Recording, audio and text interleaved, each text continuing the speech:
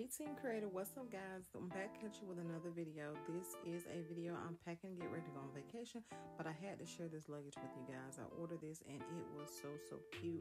Worked out really really well for my trip, so I wanted to share. I will drop the link to the full video in the comment section. I also purchased a designer dupe carry-on bag that I will drop in the comment section as well. In the video, you will see me packing some of my items in a decompression cube. I decided to do something a little different this time, guys. Those are actually the packing cubes that came with the luggage. They were so, so cute.